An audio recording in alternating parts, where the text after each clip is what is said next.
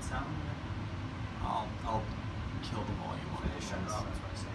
Thing too, you might be able to use that once. Just get a Chuck Norris picture too.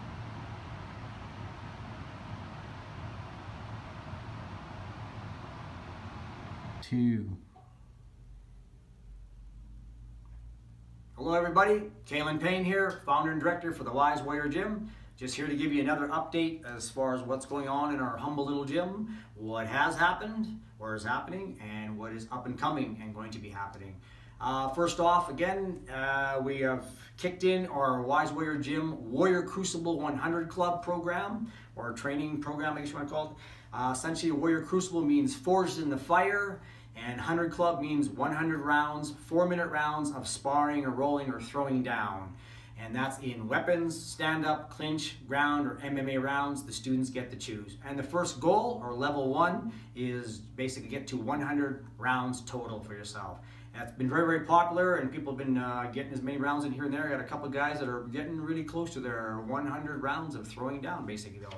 So that is what has been happening, and as well as our regular classes are always ongoing, though. The next thing is happening. Um, we are introducing now, uh, as part of our after class cool down and separate classes, a program called Resilience Yoga.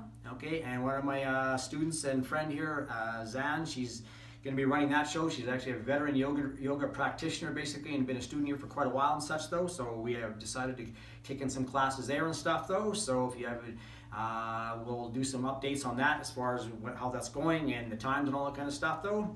Next thing that's happening is a week from, not a week, or actually this upcoming Wednesday, I do believe the 29th, I think it is, or whatever the date is, this next Wednesday. Uh, our ongoing, one of our, one of a kind, our own unique personal development, personal advancement, personal growth program known as Martial Arts for the Mind, aka Awareness Path. So we are on our 12th module actually. We did it as a one-year program. We're on our 12th module. So that's up and coming and we're doing it on the insignificant concept.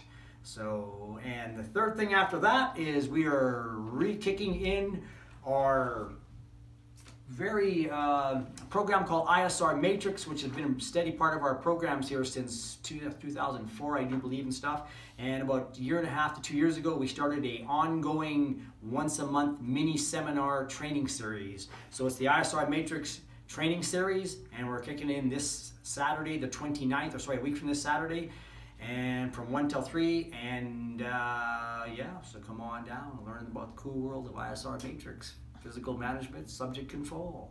And that's about it that's going on in the gym so nothing else to add. See you out there